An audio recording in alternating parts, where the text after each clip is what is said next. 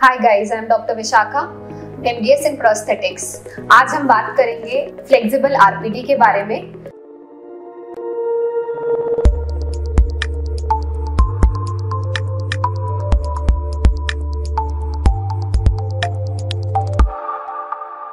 कुछ लोग ऐसे होते हैं जिनके कुछ दांत मुँह में हैं, कुछ नहीं है, और वो निकलने वाली प्लेट पहन रहे हैं।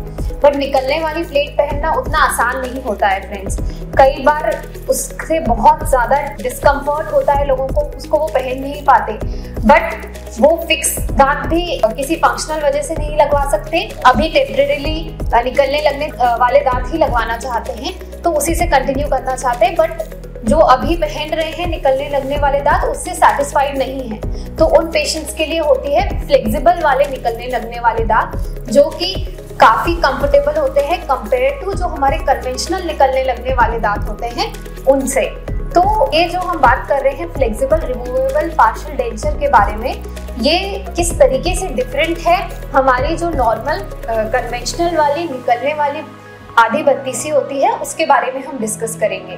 तो जो फ्लेक्सिबल वाली आरपीडी होती है, उसका जो मटेरियल होता है, वो थोड़ा रबर जैसा होता है फ्लेक्सिबल नाम से ही समझ में आ रहा है। तो वो काफ़ी कंफर्टेबल होता है, जो कि कन्वेंशनल होती है, उसके कंपैरिजन में।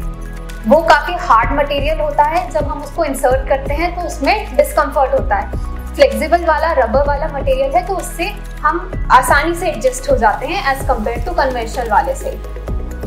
फ्लेक्सिबल निकलने वाले दांत एक बहुत अच्छा ऑप्शन है। एक बीच का ऑप्शन है। अगर आप फिक्स्ड ऑप्शन के लिए कुछ टाइम वेट करना चाहते हैं और कन्वेंशनल वाला उतना कन्वीनियंट नहीं है तो you can go for flexible removable denture जो कि काफ़ी कन्वीनियंट है। Thank you so much